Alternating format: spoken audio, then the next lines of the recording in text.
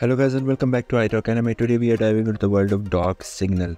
Will it get a second season? Let's talk about it.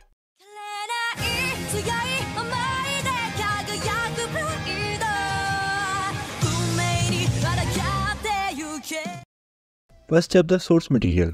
Dog Signal is adapted from a manga series and guess what? It's still ongoing with a respectable 11 volumes published so far.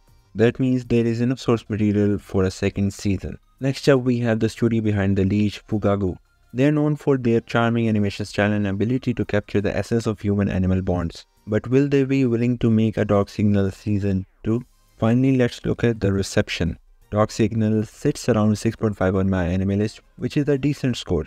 However, a strong online following who adores the wholesome interactions and a dedicated fan base can sometimes convince studio to give a thumbs up for another season. So I think a full-fledged season 2 for Dog Signal isn't guaranteed, but the outlook isn't rough. The source material is plentiful, the studio might be a good fit, and a passionate fanbase can certainly help.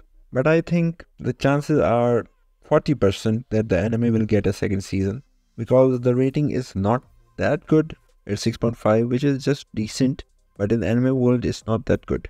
And the genre of this anime is not much appealing for the viewers. However, the reception could be a bit stronger to truly fetch a green light. So if somehow Dog Signal get a season 2 announcement when it will be released, considering the existing source material and Fugago's production schedule, a season 2 could be potentially arriving sometime in 2025.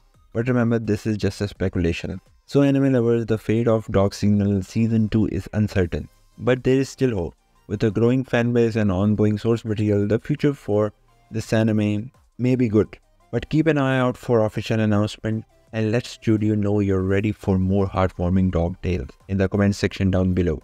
So that's all from me until next time like this video subscribe to my channel and thanks for watching.